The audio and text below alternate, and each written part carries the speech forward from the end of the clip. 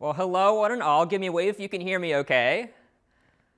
Okay, seeing some waves. So welcome to our fourth lecture in CS Introduction to Programming with R, this one on tidying data. Um, we'll begin, like we usually do, with a bit of a souvenir photo. So if you'd like to join the photo, feel free to turn on your camera, give your biggest smile, and on the count of three, we'll all wave and say hello. So one, two, three, waving and saying hello.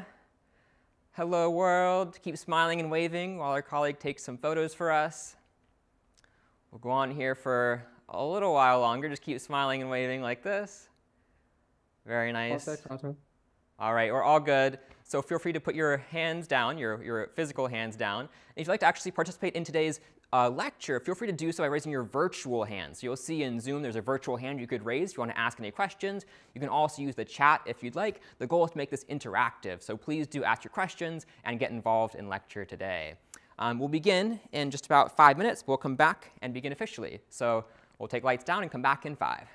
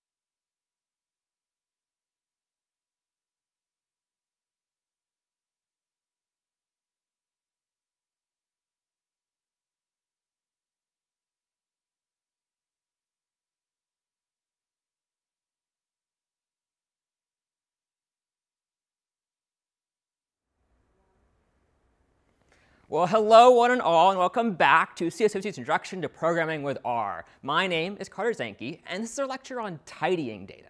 Now, chances are you've seen just how messy data can be. Maybe you have data in the wrong format, or your table is the wrong shape, or maybe you have values that have stray characters in them, like white space. Well, today we'll show you how to take care of those problems and more by standing on the shoulders of those who've come before us. So in fact, in R, this idea of tidying data is so common that many have actually built solutions to this that we can use ourselves in the form of packages. Now, a package is Recording some in code somebody else has written that we can then use as programmers. Now, we can use these packages to solve problems of our own, like tidying data, while building on the work of others. And these packages come from this network called the CRAN, the Comprehensive R Archive Network, where you might download packages and even the R language itself. Now, we'll focus today on the tidyverse, which is a package, or really a collection of packages. Among them these, one called dplyr to transform data, one called ggplot2 to visualize data, one called stringr to work with character strings, and one called tidyr to actually tidy our data in the underlying structure that it might have. So let's go ahead and jump right in. We can actually install packages like the tidyverse using these functions here install.packages, and we can then load them later on to use them in our programs using this function library. So let's try it out and come back to RStudio here. I'll come over to my computer, and let's open up RStudio where I have my console open. So if I want to install a package like the tidyverse, or a collection of packages like the tidyverse, I could do so with install dot packages, and then passing in the name of that package in quotes. So for instance, I could type tidyverse in quotes, just like this. And if I were to hit enter here, I would install tidyverse on my own computer. Now, once it's installed, I need to load it so I can use it. So I can use this function here called library, library just like this, to pull the tidyverse from my library and load it into my own computer so I can use its functions and everything else therein. Now, you may have heard this term library before. If you have programmed. In R, we call packages uh, this code somebody else has written that we can use, and the library, the place those packages are stored on our own computer. So some slight difference in terminology there, but I can load this package now using library tidyverse. And I've already done that here, so I won't do it myself, but you can try it at home.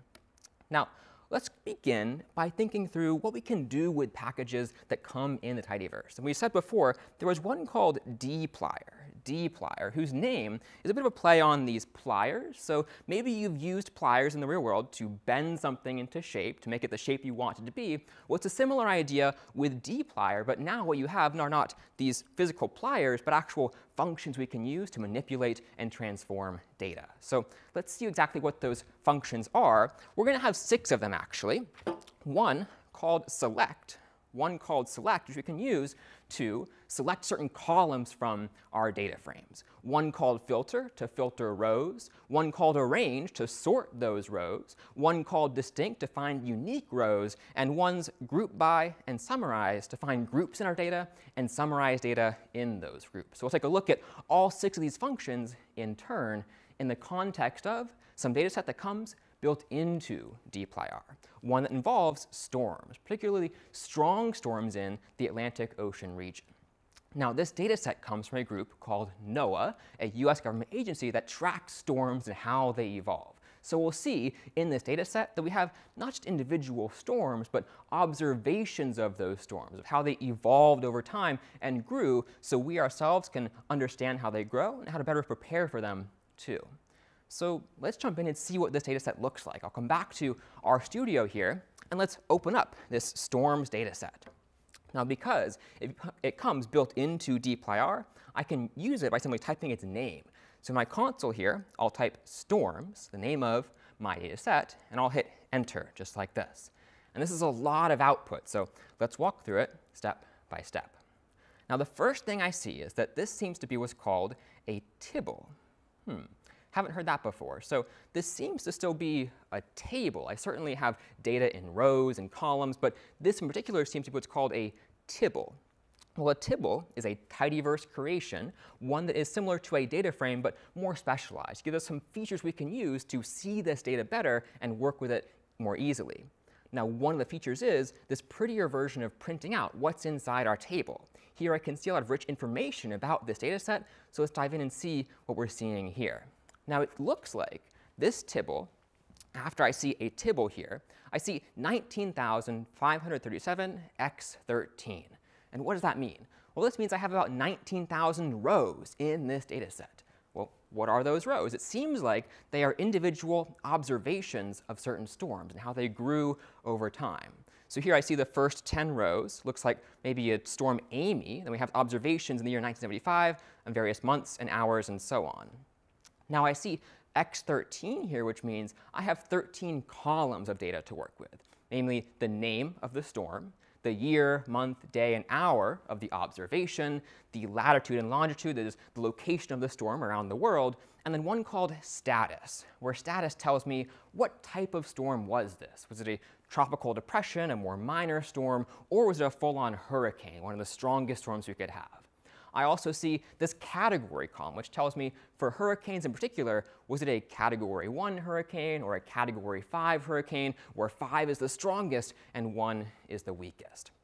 I see too this column called wind, which tells me the wind speed in this nautical term called knots, and I see pressure, which tells me how strong this storm was. And I still see that this might not be 13 columns. There are some that got cut off down below, so I'll see them at least named down here, two more variables. One looks like tropical storm force diameter and hurricane force diameter, these other terms that mean how strong this storm was on this particular observation. So this is our data set in terms of rows and columns, and notice too that the tibble shows us the type of these columns as well. So name seems to be a character, day an integer, status a factor like we saw last time. There's lots we can glean from this particular output of a tibble here. So let's jump in with a problem. And I'd say my problem is I want to try to find the strongest hurricanes and sort them from the highest wind speed to the lowest. Now, let's begin by, by solving this problem in little baby steps, working our way towards getting to that kind of data set we want, ultimately want to see. So I'll come back to RStudio here, and let's think through what we could do first. Well, I want to write a program to do this work for me, so I'll make a new file. I'll call file.create and then storms.r, just like this. And I'll go over to my File Explorer and click on storms.r and open up this file for me here. If I type storms, even in this file, I should have access to that same data set, so long as I have loaded the tidyverse using library. Now, if I looked at this table again, if I click enter here and see it, I think there are probably some columns I don't really want or need. Like I probably don't need latitude and longitude to figure out the ordering of the storms in terms of wind speed. I probably don't need pressure or these other ones called tropical storm, force diameter, or so on. So I want to get rid of them. And I can do so using a function that's part of dplyr. So let me go back to my, my uh, file here called storms.r, and let me think through how I could do that. Well, one function called select actually lets us determine which columns we want from our table and which ones we don't. So I'll use select here, and because it comes from the dplyr package, one thing I could do is tell R explicitly, use the select function from the dplyr package as follows. I'll type dplyr first, the package name, followed by two colons, and the name of the function I want to use, just like this. So now this is saying I want to use the select function that is part of the dplyr package. This is not built into R, it's part of some package I downloaded, installed, and loaded here. Now the first argument to select is the data frame we want to work with, in this case storms. So I'll put storms here as the first argument, and the next one is a vector of the columns we either want to keep or remove. If I want to keep the columns, I can simply use C, just as it is here, but if I want to drop some columns or remove them, I could select them inside this vector and use either exclamation point or minus to say, uh, -uh I don't want those. I want you to remove them overall. So let's actually go with the exclamation point here and select the columns we actually don't want anymore in our data set. We said before we don't really want lat and long, uh, nor pressure, nor one called tropical, tropical storm force diameter, nor one called hurricane force diameter. And my goodness, this line is getting really long. So I think what we should do is stylize our code a little bit. One thing we could do is put each of these arguments on its own line here. Let me move the first argument to its own line, the next as well to its own line, still separated by commas now. I'll put the final closing curly brace for select on its own line as well. So this at least makes it a little more readable. And now if I run this line of code, let's see what happens. Well, I'll get back still my tibble, but now with those columns removed. So select has then dropped those columns for me and simplified my data frame. But as you might have guessed, I was kind of annoyed I had to type out all of this tropical storm force diameter or hurricane force diameter. There is actually a better way, and select comes with a few helper functions we can use to select some of these columns. So for instance, some of them look like this. We have one called contains, which we could give a character string, and it will select for us all columns that contain that character string or ends with or starts with, which might select columns that end with or start with some given character string. And one thing I notice, if I go back to my, uh, my code here, is that both of these long uh, column names end with diameter. So I could probably use ends with here as a helper function for select. So why don't I do that? In my vector of columns to select, why don't I use ends with and pass in the character string I want to match. So maybe in this case it will be diameter. And now this function ends with will match and include any columns that end with diameter. But of course, in this case, we're actually going to remove them because of our exclamation point here. And we should see that if I run this line top to bottom, we have the same result, but now in much fewer lines of code. Now, what should we do next? We have our columns chosen we want them to be, but maybe the next thing is to work only with hurricanes. So I don't really care about tropical depressions or tropical storms. I want hurricanes in this data set. Well, that's a great job for filter. I've removed all the columns I want. Now I should remove some rows. So filter is good for removing rows and finding subsets of our data. It works very similar to subset like we saw last time, but a different kind of function name here. So why don't I try using filter, and I'll do so like this. Maybe I want to um, type dplyr, because it's part of the dplyr package here, and then filter. And the first argument to filter is the data frame I want to work with, similar to select. So maybe what I could do is pass in this updated data frame as the first argument to filter, just like that. And now, as the next argument, the second argument to filter, I can supply a logical expression, any kind that involves the data frame's columns. So if I looked at my, uh, my table again, I would see that the status column tells me what kind of storm this was. So I could write a logical expression to say, I only now want those rows where the status is equal, in this case, to hurricane.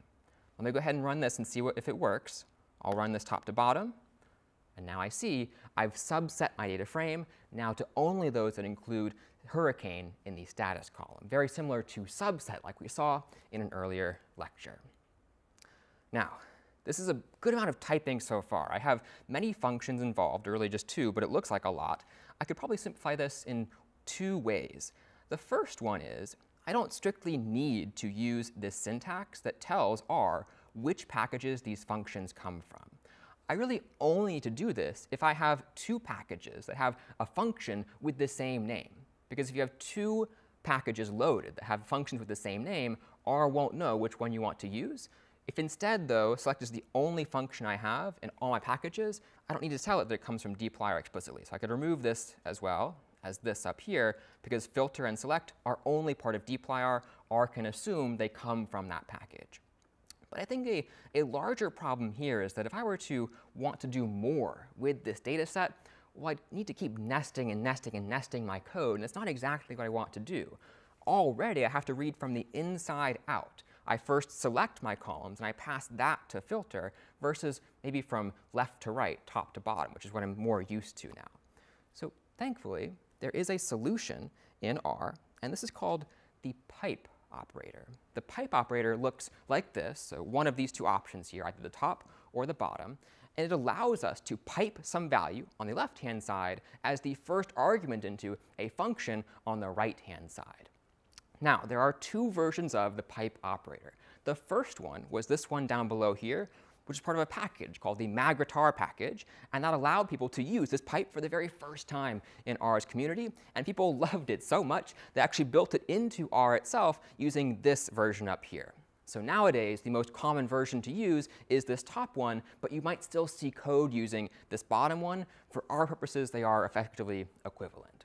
Now let's see an example of using this pipe operator here. Let's say I'm selecting some columns from storms, and I want to maybe do it like this, like I did before. I have storms as the first argument.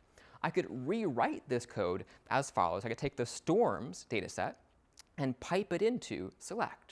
So now it is implicitly the first argument to select, and I can still name all my other arguments after this first one here. So storms is going to be passed into select, and I can still name the columns now I want to keep or drop. But this gets really powerful when I want to chain functions together. So here I'm going to select some columns. What if at the same time I wanted to filter some rows? Well, I could do this. I could say first pass storms to select, pipe it to select as the first argument, select the columns we want, and then pipe that result now to filter, which will filter to the rows we want to, and in the end, I'll get back the data set I was hoping for. Now I can read top to bottom, left to right, as opposed to from the inside-most function to the outside-most. So let's try this now and rewrite our code to be much more readable using these pipe operators. I'll come back to RStudio, and let's try this out. As opposed to nesting these functions, why don't I use the pipe operator? I'll take storms again, just like I had, and I'll pipe it into select. Now, as we said, storms will implicitly become the first argument to select. So I no longer need to say storms anymore. I'll know that is the first argument to select. What I can instead do is just start supplying the second or the third arguments here. I could say I want to select or early drop these columns, lat, long, um, pressure, and all those that end with diameter in this case. And now I want to pipe that result, the columns I have uh, actually kept now from storms, into filter. And of course, that will implicitly become the first argument of filter. Now I just apply the second argument, which is the logical expression. So in this case, where the status column is equal to hurricane, just like this. Let me go ahead and run this code. I'll click this, and we'll see the same result, but now in a much more readable format. So pretty cool what we can do with the pipe operator. Let me pause here and ask what questions we have on these packages, on the pipe operator, or select, or filter.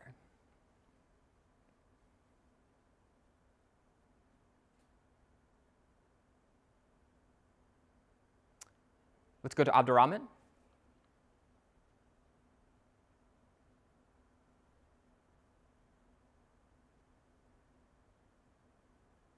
Abdurrahman, can you hear me? Uh, we can't hear you, unfortunately. Uh, yeah, yeah. Sorry, my my connection is so low. Okay, go ahead. Uh, is there any kind of joins like in SQL? A good question. Is there any kind of joins like in SQL? I imagine there is a package in R that lets you do similar things to joins as you would in SQL. Um, the place to look for that is on the CRAN, like we said before. If you Google the CRAN for R and look on that package repository, you might find a package that can help you do things like SQL in this language like R. A really good question there. Let's take one more.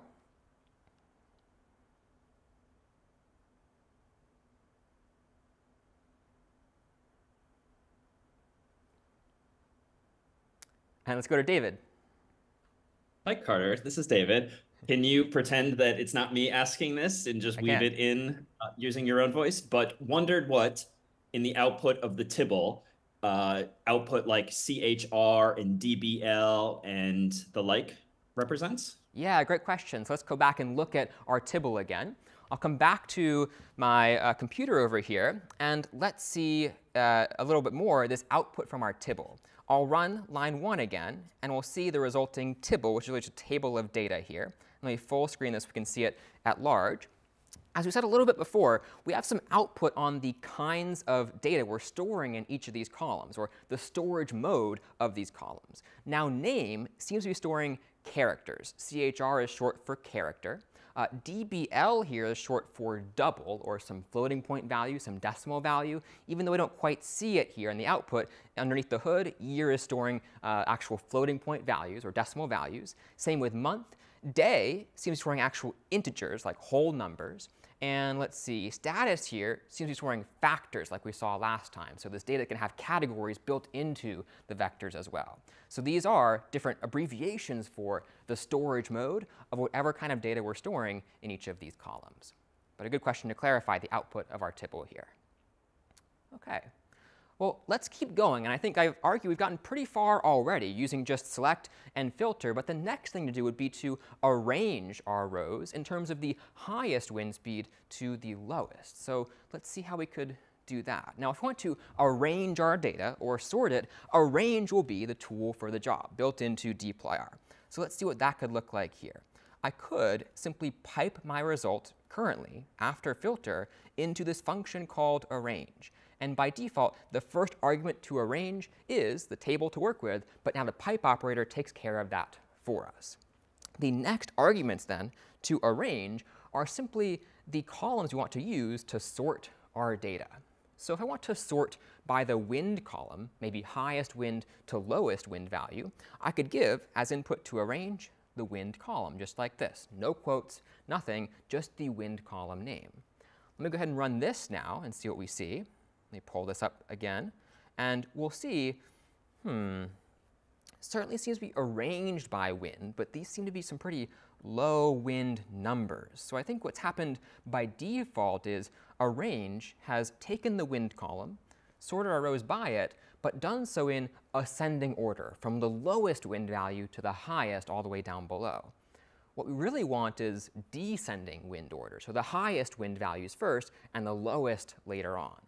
So let me go ahead and go back to my program here, and let me try uh, instead doing this, DESC, parentheses around wind, just like that. And that will take the wind column and make it in descending order, which will pass to arrange. And now arrange will be able to sort our data set in descending order by the wind column. Let me go ahead and run this now, and we should see that we have what we wanted. Wind now, the highest values at the very top, and we see we go lower and lower and lower as we go lower in our data set, at least in terms of the wind column. So pretty good, we're getting there. One thing I still see though is that let's say some hurricanes have the same wind speed like Gilbert, Wilma, and Dorian have. Well, it would be nice if when within uh, hurricanes that have the same wind speed, we also sort by name. So ideally, like Dorian would be first in this group, and then Gilbert, and then Wilma. Well, we can still do that with arrange as well.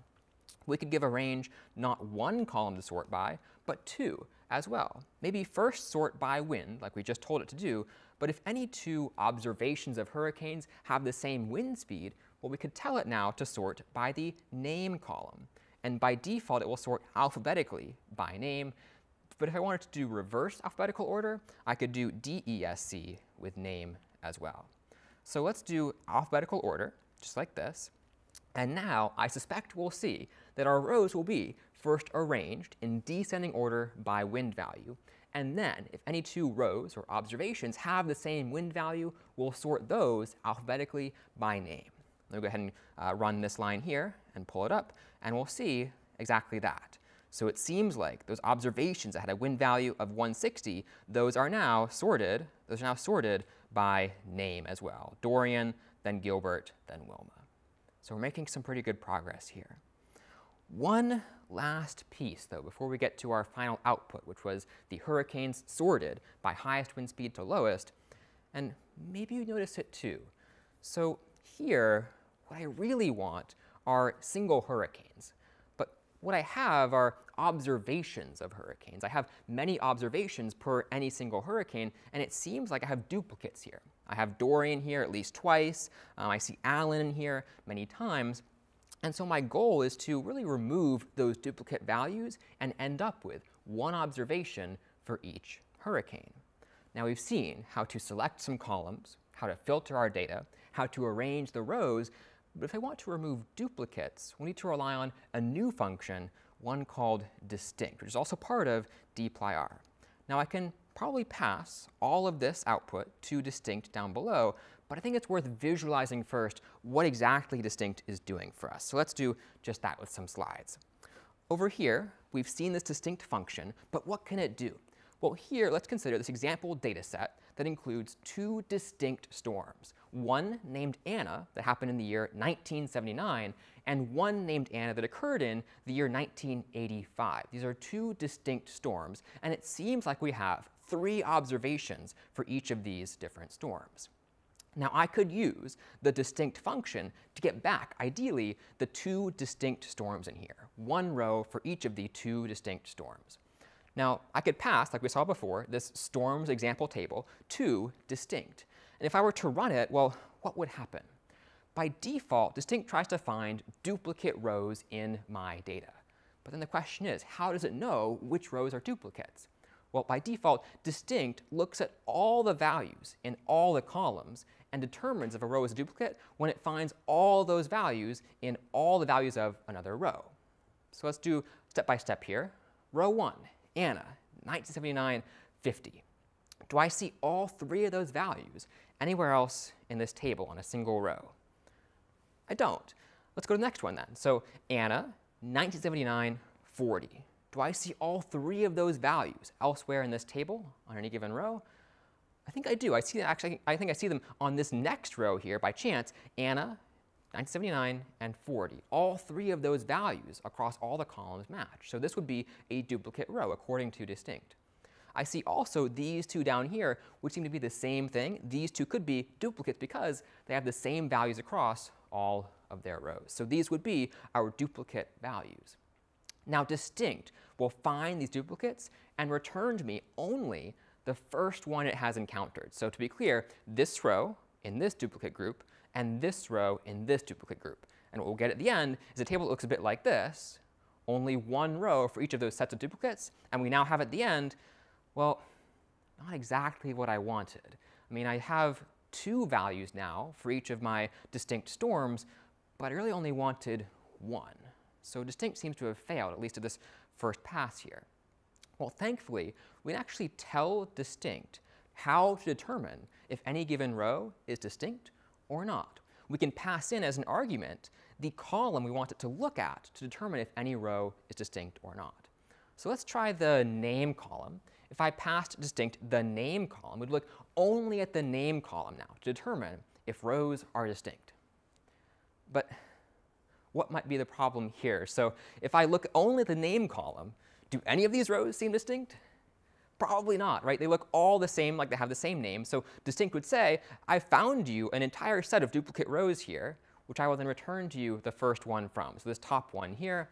And I mean, that's not what I want either. So it turns out that what makes storms distinct is the combination of their name and their year. So let's then give distinct those two columns. Let's say distinct, I want you to look at both the name and the year columns and use those to determine if any given row is distinct. So distinct will look only now at name and year. And looking at only those two values, what do you see? Well, I think I see two sets of duplicates. These are duplicates here, and these are duplicates here. And distinct will find those for me when it runs and find these two sets, returning for me, for each set, the first row. So I should get back, actually, what I was hoping to get back, one row for each distinct storm, thanks to this function called distinct. So let's try it out now in RStudio. I'll come back over here, and why don't I use distinct, but now give it both the name and the year columns to determine if some row is distinct. I'll go ahead and run this code here, and hmm, I think I have distinct storms. Like I don't see Allen in here any other times. I don't see Dorian or Gilbert or their combination of name and year, but I'm missing the other columns. So it turns out that in distinct, we need to tell it, no, no, we also want you to keep the other columns too, and we can do that with a uh, argument called dot keep all and set that equal to true. This dot might be a little bit new. It essentially differentiates this argument from any column names. So notice here how we're passing in as arguments like name and year, these column names. Um, the Tidyverse creators thought it would be unlikely that your columns begin with a dot, and so decided that one to control how distinct works will be include a dot at the beginning here. So let me run this again, and we'll see I now have all my columns back, thankfully, and I do see distinct hurricanes or distinct, yeah, distinct hurricanes, where each one is distinct by both the name and the year. So we've seen now arrange and distinct. What questions do we have on those two functions in dplyr?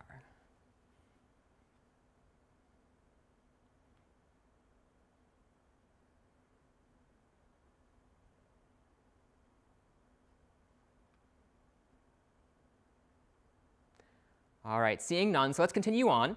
And our next task will be to look at how we could, um, well, actually our next task would be to kind of save this data. Like I think we're kind of done with how it's, um, how we hit, hit our results here. So why don't I try to save this data now as its own CSV? I'll take the storms data set that I have, and why don't I store it in an object called hurricanes like this, so now I can keep it and reuse it later on in my code. And why don't I try to now write what I have as its own CSV? I could do so by using the pipe operator. I'll take the hurricanes data set now, which to be clear is the same table we just saw. And why don't I maybe first simplify the columns I'm choosing for it when I write it to a CSV. I'll select now maybe just the, uh, the year, and let's see, the name and the wind speed columns, and I think that will make things a little simpler for me. I'll then pipe that into write.csv. Implicitly, it will be the first argument.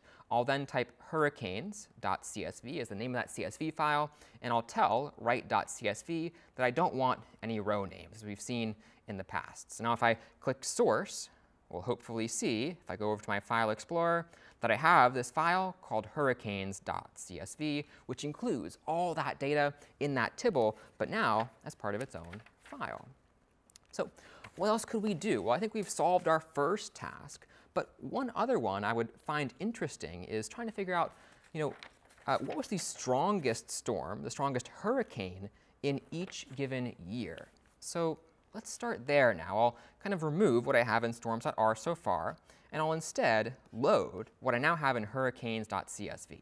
I'll make a new object called hurricanes, and I'll read in my hurricanes CSV, and now if I view if I view hurricanes, well, I'll see all my data in this data frame here. Well, I want to find, ideally, the strongest storm, the strongest hurricane for each year. And if I visually sort this data top to bottom using the year column, I might notice that every year has well, several hurricanes. So 1975, for instance, seems to have had roughly six of them. 1976 here seems to have had also about six of them. And my goal is really to end up with a table that looks a bit, that looks a bit like this one here. I have one row for every year, and in that row I have the storm, the hurricane with the strongest wind speed. And if you're new to programming, new to R in general, it might not be quite obvious how we get from our data frame we just saw to this data frame here, but we can think about it first conceptually. So let's try that. I'll come back over to RStudio and let's just think through what we would want to do, how we to do this by hand. Let me come back to RStudio and look at our table here. Well, I might notice that for each value of year, I have some number of rows. Like let's say from 1975, I have one, two, three, four, five, six rows. Now, how we're doing this by hand, I might look at all the rows that fall into this group of rows that have the year 1975. And I might then choose the one that has the highest wind speed, like Gladys it seems here. I could then do the same thing for 1976. I could look at this next group of rows, if you will, 1976, and look at those six rows that have that value, 1976. I might then pick out the one hurricane that had that strongest wind speed, which seems like Belle in this case. So we're thinking a little bit in terms of groups. I would group my data by the value of the year column, look at rows for each value of year. Now, it turns out that in R, we cannot just think in terms of groups. We can actually use some syntax to apply groups to our data set. And we do so using this function called group by, which we'll visualize here uh, together. So here is our group by function, and we'll see how it works together using an example data set here. So let's say I have this table of hurricanes, and in this case, I have hurricanes in the years 1975 and 1976. Now, as we saw, kind of conceptually back in RStudio, it would be nice if I could think of groups in this data set, where those groups are determined by the value of the year column. Now, group by can actually do just that for me. I can take the hurricanes data set here and pipe it into group by and tell it which column I want it to use to determine what groups there are in my data set. If I give it the year column, what will it do?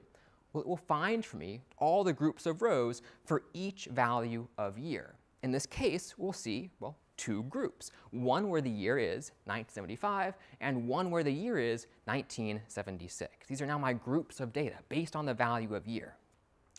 Now this gets really powerful when I apply a function by each group, which I can do after grouping by here. I could then pipe the result of these grouped rows into arrange. And arrange would normally sort my entire table top to bottom. Now I'm in descending order by wind, but because I've grouped here, it will actually arrange these rows within each of their groups. For instance, I would get back the following. Notice how each of these rows are sorted, but they're sorted within their groups. Arrange has been applied to every group that was found by group by.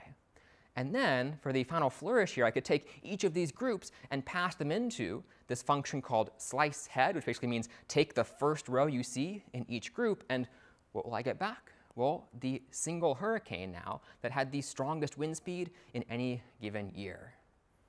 Pretty cool. So let's try this out now in RStudio and see what improvements we could still make.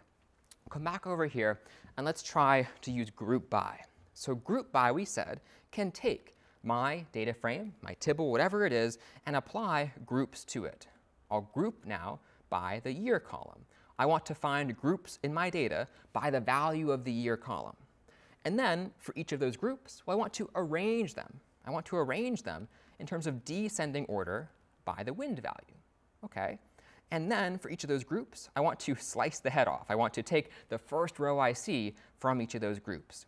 So now, if I save this file and run line 2, I should see, well, only one value per year, and it should be the hurricane that had the strongest wind speed in that year.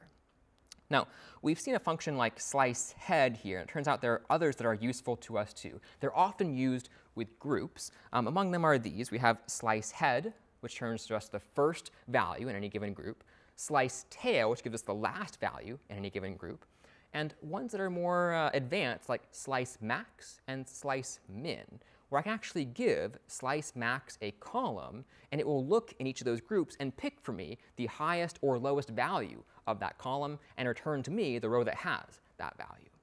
So I think I could actually rewrite this using maybe slice max, because I'm looking for, in this case, the value that has the highest, uh, uh, the, row that has the highest value in the wind column. Let me come back to RStudio here, and let me try not arranging and slicing the head, but allowing slice max do that work for me. I'll group by year and slice max for every row, or for every group, I'll try to find, in this case, the one that has the highest wind value. And to determine which uh, value to use in slice max, I use this argument called order by that says for each group, order it by the wind, and then take the highest value, in this case, the row that has the highest value for wind. If I run this line here, I should see the exact same result, but now I'm letting slice max do a bit more of the work for me. All right, what else can we do with these groups? Well, let me actually first pause here and ask, we've seen how to group by now. We've seen how to order within groups. What questions do we have, if any, about these groups?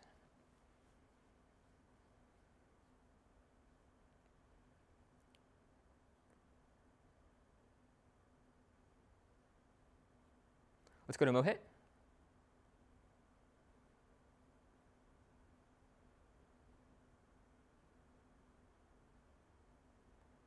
Can you hear me, Mohit?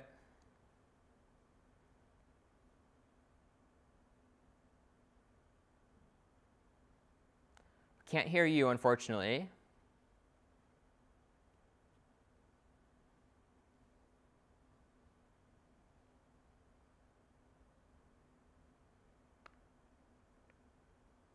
Let's go to Mark.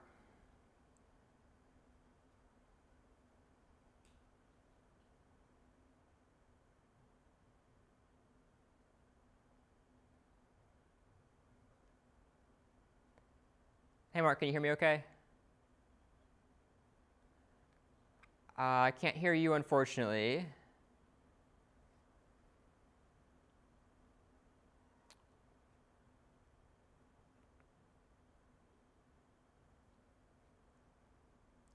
Uh, let's try Ahmed. Okay, sir. Uh, in the first, when we declarify a filter in the first two or three sections, we put um, integrated filter for each uh, database. Can we use it now? Yeah. Can we use a filter for it uh, slice max or uh, order by or group by? Even uh, a good question. So we saw earlier we could kind of filter some rows out of our data set, and we kind of did that earlier on in our pipeline of this pipes going uh, back and forth, if you will. We could still, though, apply a filter here. So let me go ahead and try this out now. I'll come back to RStudio, and let's say I now have, at least it seems to me, this data set that includes one hurricane per year, but I could still filter this data set. I could maybe find those that occurred maybe between 1980 and 1990. So I could go ahead and say, let's filter this result here and try to find those where maybe the year is greater than or equal to 1980, and let's say the year is less than or equal to 1990. And that would give us a subset of my data where the year is between 1980 and 1990 inclusive. Let me go ahead and run this, and we should see that my data set has been shortened a little bit. It now includes 11 rows from 1980 to 1990. So we can apply a filter at any point in our pipeline, but it will apply to whatever we pass to it as, um, or through this pipe operator here. A good question. Okay. Now there's one more thing we can do with these groups, and one more question I think is interesting to ask. So in the hurricanes table, um, actually what we have now is we, we, can still see kind of our old value, the hurricane CSV here. And one question I have is, well, for each year, how many hurricanes occurred in that year? It seems like for 1975, there were 1, 2, 3, 4, 5, 6. Same for 1976, but we want to figure that out for each and every year, or for each and every group. So what we're effectively doing is summarizing our data, trying to find um, some number, in this case the number of rows we have in each particular group. Now, a good way to summarize your data by group is to use the summarize function after you group by some particular value. So let me go ahead and try this. I'll say summarize, and I'll pass in a function I want to use to summarize those groups. Now it turns out I can use functions like mean. For instance, I could ask for the mean, maybe wind speed for each group. Um, but I might need to ask for something else here. I want the number of rows in each group, which in this case will be determined by n, where n is a function that finds for me in every group how many rows there are. So I'll pass as input to summarize this function n, and summarize will apply for each group this function n, returning to me the number of rows in each of those groups. Let's try it out. I'll hit um, enter here, and now we should see I still have all my years, those groups now, but I'll see only a single value for each one. I've summarized them in some way. In this case, I've summarized them using the n function, which tells me how many values there were in each of those groups. So it seems like, to translate now, in 1975, there were six storms, and in 19, let's say 82, there were two hurricanes. Now I could make this a little prettier, arguably. I could actually go back down here, and I could change this from n to simply uh, to hurricanes equals n. And this is allowing me to name the resulting value. So if I then run this again, what do we see? Well, I see a named value, a named column now called hurricanes. So I'm still doing the same thing. I'm still applying this n function over each of my groups, but because I've now typed hurricanes equals n, I'm naming the resulting column in the data frame that I get back. So pretty cool to summarize now our groups all together. Let's go ahead and just see one more thing in terms of groups. Let's go back to what we had before of grouping by year, and I'll slice now the row with the maximum wind speed value, just like this. Let me show you again the tibble we had. Notice how, in addition to the column names and their storage modes, we also have this here, which has groups. And it seems like we have the very thing we've grouped by, the year column. So if I were to save this tibble as its own object and reuse it later, it would still be grouped by year, which may be good or it may be bad. Maybe I only want to group by year in this particular analysis, so you should know about, and at least be careful about, knowing which groups are in your data. And if I wanted to ever remove some groups, I could do so using the ungroup function. I'll come back over here and show you what that looks like. I'll go back to my storms.r file, and I will then take this code, I'll pass it into ungroup, which if I run this now, will allow me to have a tibble, but now there are no more groups. I temporarily grouped by year, and while we were grouped by year, I sliced the maximum um, value uh, in terms of wind for each group, and then I ungrouped. So I can save this tibble and reuse it later while applying some new groups that don't have anything to do with year now. Okay. So thanks to dplyr, we've seen how to transform our data in all kinds of ways. When we come back, we'll see how to tidy our data even better using a new package called tidyr. See you all in five.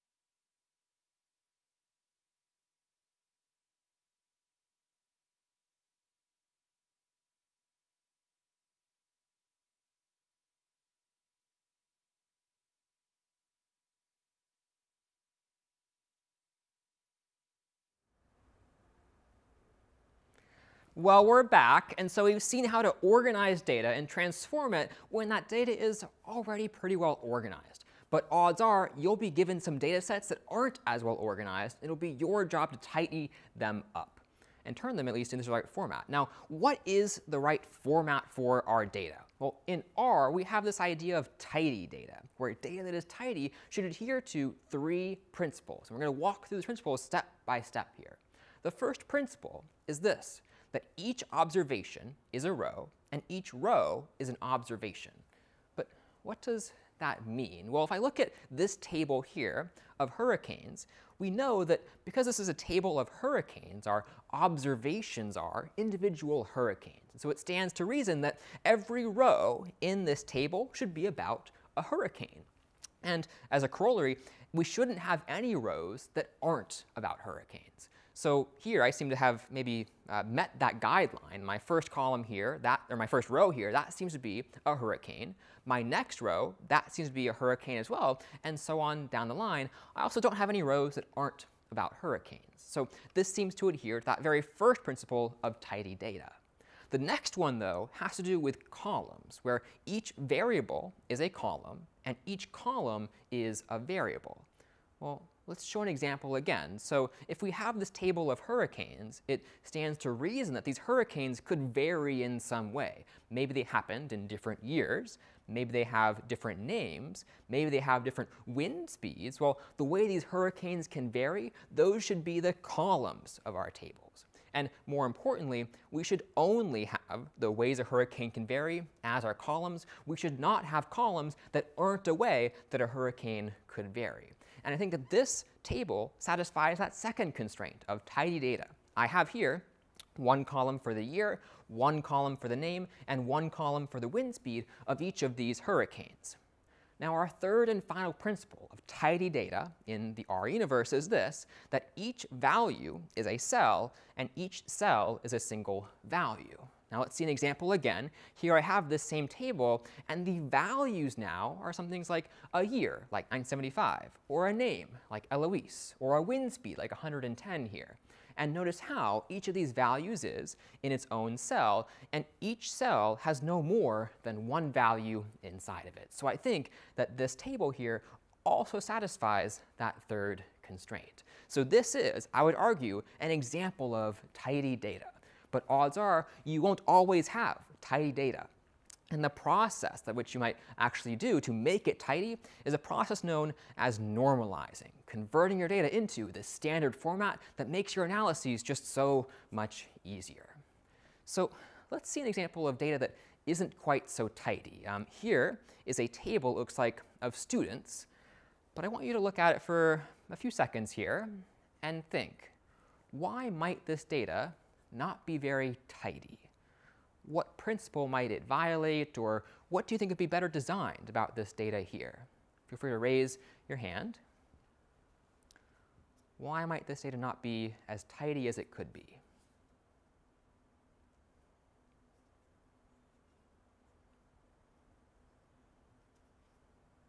Let's go to Ahmed. Okay, I think because there is computer science, which has two words or two variables, and uh, there is a float number. I, I don't know if it uh, uh concludes in this particular rule. Yeah, good observation. So we have um, computer science here, which is maybe it has a space in the middle. We also have some floating point values. And I actually like your thinking that this value column seems to have different kinds of data. Like on the one hand, it has a 3.5, which is this kind of floating point value, a decimal value, but it also has character strings too. So that is one example of why this data isn't quite so tidy. Um, one of the main ones I'm thinking of, though, is this attribute column. So it seems like the ways a student can vary are not so much columns as they are values in these rows. So a student could vary based on their major. Maybe they major in statistics, or they major in computer science, or they major in data science, and they could vary in their GPA, or their grade point average, how well they're doing in their classes. Mario seems to have a GPA of 3.5, Peach seems to have a GPA of 4.0, and Bowser seems to have a GPA of 3.7. But if these are ways a student can vary, well, shouldn't they be columns instead? So I'd argue that this data is not very tidy at all, and what would make this data tidier is if it was in this format here. Notice how the ways a student can vary by major or GPA are now our columns. And for each of those columns, we have the values. And to Ahmed's point earlier, notice how we now have columns all of the same type because we converted those rows now into columns. Our major is all the type character, and our GPA is all the type numeric. So this, I would argue, is tidier data.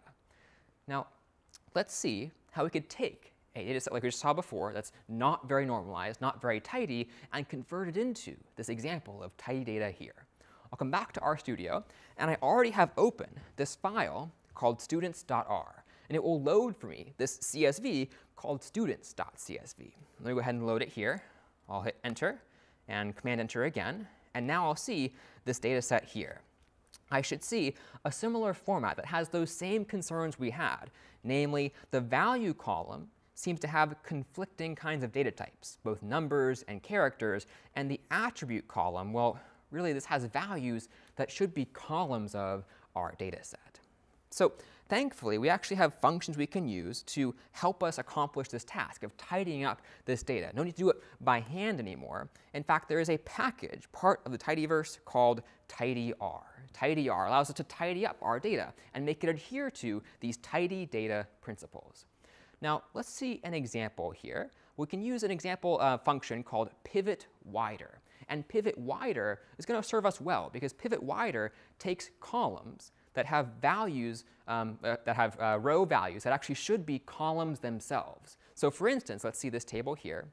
Notice how the attribute column has values in these rows that should be column names. Like we saw earlier, we want major to be a column name. We want GPA to be a column name.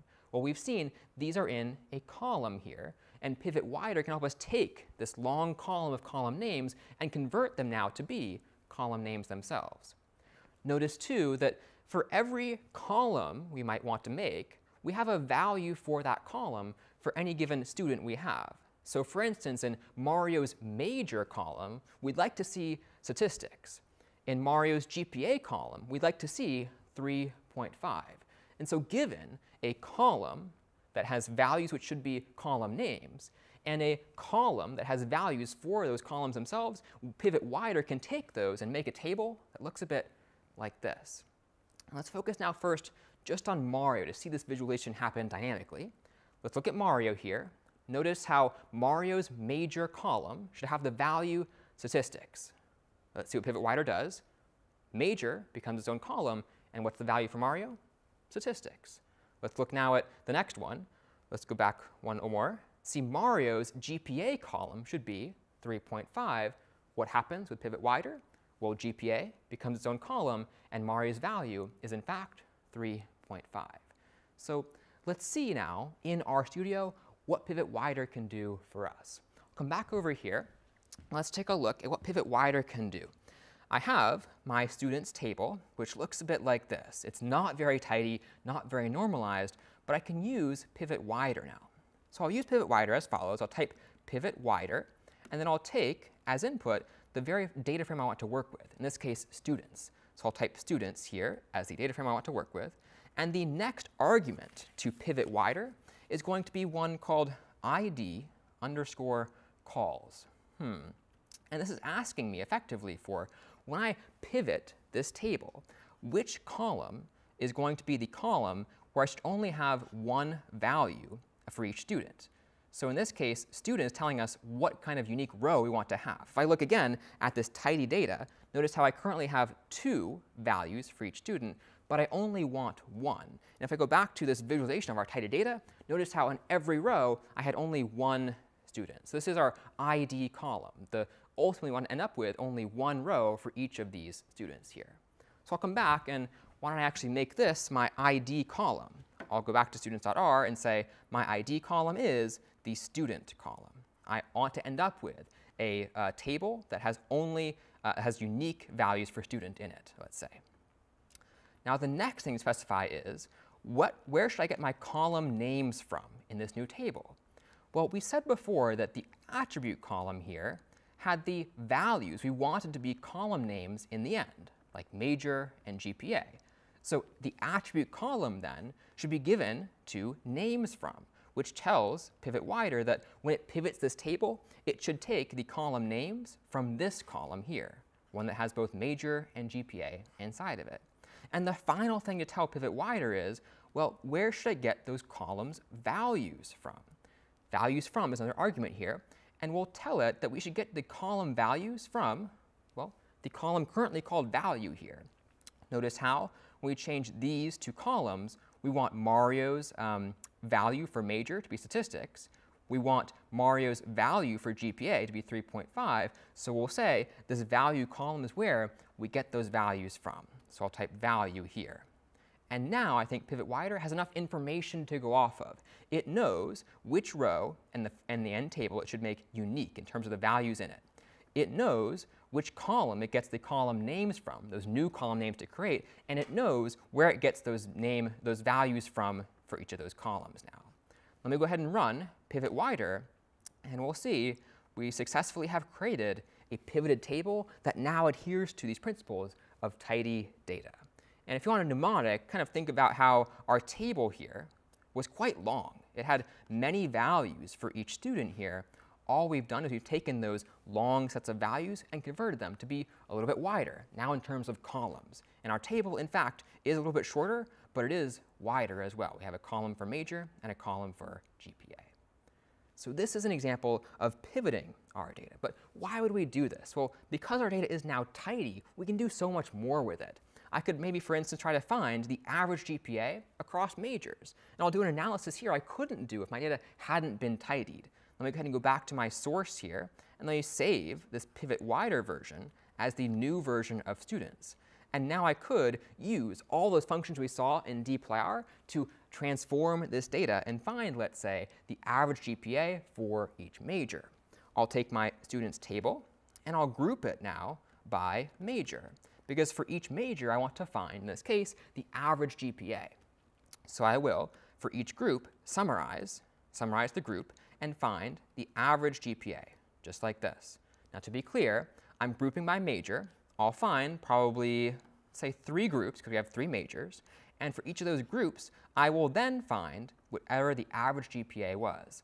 Let me go ahead and run line 9 here. And what do we see? Column major is not found. Let me go ahead and try to save this first. Line 2, and then line 9. And I think, well, now we have a new error which is this.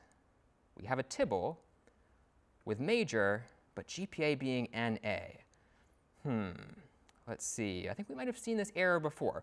Argument is not numeric or logical, returning NA. Hmm. If we go back to our tibble here, we can take a peek. Let me um, look at students again. And let me show, whoops, let me show students now. What do you think might have gone wrong? in GPA. We were trying to find the average, the mean GPA, but what is the tibble telling us? It seems like the GPA here is a character value. It's not a numeric value, it's a character value instead. So I think I need to first convert this before I can do any kind of grouping and finding the average GPA for each of those groups. Let's go back to RStudio here and do just that. I will maybe pivot wider, just like I did before. And then once I do that, why don't I make sure the GPA column is numeric? So I'll say students, the GPA column within it will be the numeric version of the GPA column in students. I'm coercing, coercing this column called GPA to be numeric now. And if I run this top to bottom and go ahead and run line 11 now, we should see successfully we have found the average GPA for each major group. Okay. So we've seen now one example of pivoting our tables to get some tidier data and the kinds of analysis we can do now that we have tidy data. I'd argue I couldn't do this analysis earlier when data was not very tidy. But let me ask now, what questions do we have on this program as it stands or on pivoting our tables to be a little bit wider than they were before to adhere to these tidy principles?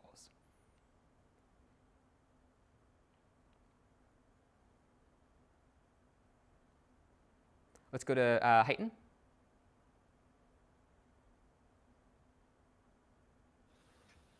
Okay. Uh, am I audible? Yes. Yeah. So um, my question is, what happens if one of the attributes is missing? For example, if for Mario, what happens if you don't have GPA in the uh, in the column? Yeah, really good question. If you have data that's, data that's particularly untidy, that might happen to you. Why don't we actually just try it out and see? So I'll come back to RStudio, and why don't I modify my CSV? So you said, um, you know, what would happen, let's say, if, actually let me go back and um, look directly at my CSV now. I'll open students.csv, and you asked, what would happen if we didn't have a GPA value for Mario? So Mario's row looked a bit like this where Mario only had a major in our untidy data from before. Well, let's try it out. I'll load this CSV that now has no GPA, no uh, GPA value for Mario, and I will then try to pivot wider and see what happens. Oops, that's the wrong, did my cursor in the right place. I will run line two, and it seems like everything went okay, but let's see now what students looks like. Hmm, seems like Mario simply got an NA value for GPA. So very handy. If Pivot Wider didn't find a value to give to Mario's GPA column, it will instead put NA. And we know from before that NA means not available. There was no value to place here, even though there could have been. So Pivot Wider can handle all kinds of untidy data and handle them effectively too, telling us when something is not going to be available for us. Now there is also as well a, uh, a function called pivot longer, which can in this case take columns that should instead be row values, and uh, we can make that happen instead. I'll save this one though for you to work on on your own if you want to explore more about pivoting tables. For now though, we'll take a five minute break and come back to see how we can actually tidy the values of the data itself when those are messy as well. We'll see you all in five.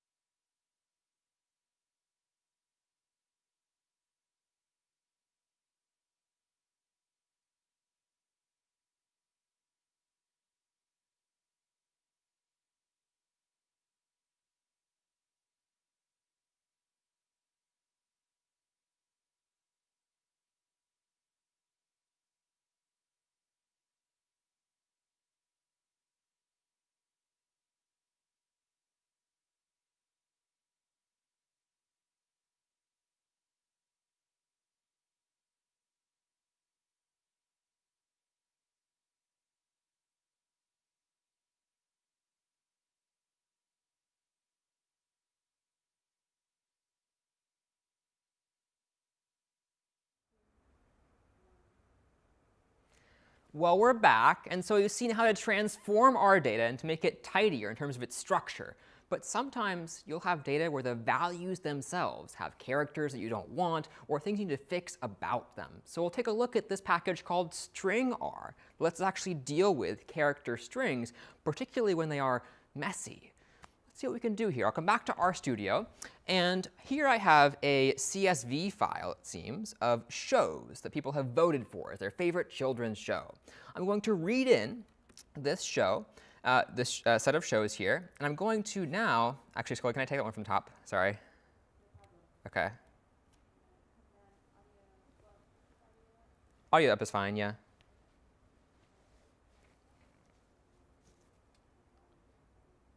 OK.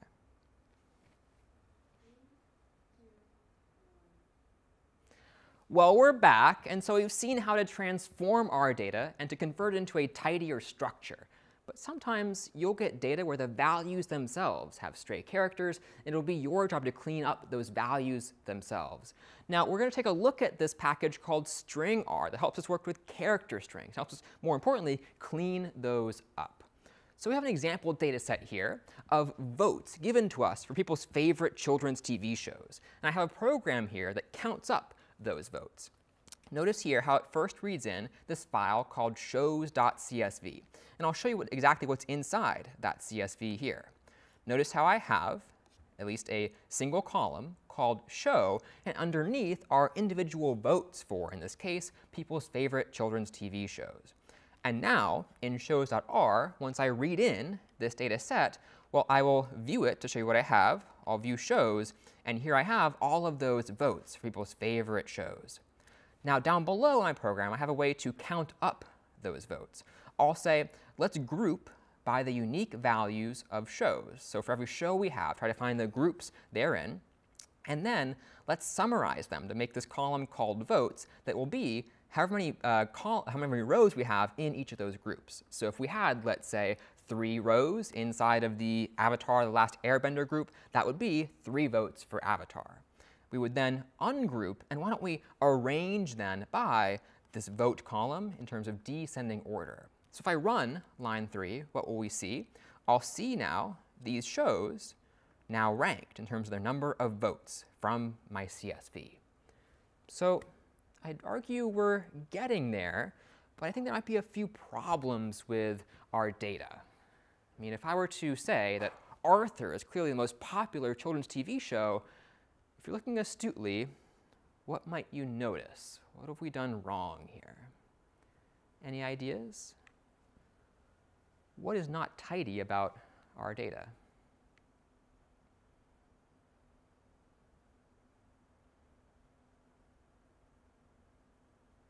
Let's go to Andrea. Um, Yes, that all of the uh, movies have different names, even though they are the same movie or the same show. For example, Avatar, we could argue that it's the same uh, show, but they're spelled different or have more spaces, so we have to tidy it up. Up. Yeah, I like what you're thinking. So if we grouped by the show name, well, group by needs to see that the value is exactly the same. And here, I mean, I seem to have Avatar The Last Airbender right here on row 3. But down here on line 10, I also have Avatar The Last Airbender. The only difference is that this one has a little bit of a space in front of it. And this happens all the time. If you're getting input from users, they'll make typos, add extra white space, and you just have to handle those things that happen in your data. So I think we should clean this up a little bit before we start counting these votes here. Let's first handle this white space we don't want. See, there's like an extra space in front of avatar. Let's get rid of that on that row and all the rows as well. Now, stringr comes with some functions to handle trimming white space around our character strings. Now, one of these functions is called str underscore trim, to trim the white space on either side, front or back of our character strings. Let's go ahead and try that. I will take my program here again, and before I count up these shows, why don't I take the show column in shows, and I will then trim, using str trim, the values therein. So I'm now taking that show column and shows, trimming off on the front and back of each character string any extra white space. And I'll store that now as the new values for the show column in the shows table. Now let me go ahead and click, uh, let me go ahead and run top to bottom. I'll read shows, run line three, and now run line five. And I think we're getting a little bit better, but I think there's still something I noticed. So no extra white space on the front or the back now, thanks to stir trim, but I see Avatar The Last Airbender and Avatar colon, oh, space, space, The Last Airbender. So somebody made a typo inside the character string, and that's just so frustrating. But what we could do is use a function called stir squish, which looks at all the white space inside of our character strings and tries to reduce them to a single space character. So let's use stir squish here. Stir squish is spelled exactly like this, str underscore s-q-u-i-s-h. And I'll go ahead and go back to my source file here. And why don't I, in the same breath, as I remove the trim, the front and back white space from my shows, why don't I remove any extra internal white space? So I'll take the shows, the show column of shows, and I'll pipe that into stir trim, trimming off the front and back white space on either side of my character strings, and then I'll pass that result in to stir squish, can, which can take care of, for me, any internal extra white space, like the double space we saw in avatar colon space space, the last airbender. And it'll convert that to a single space.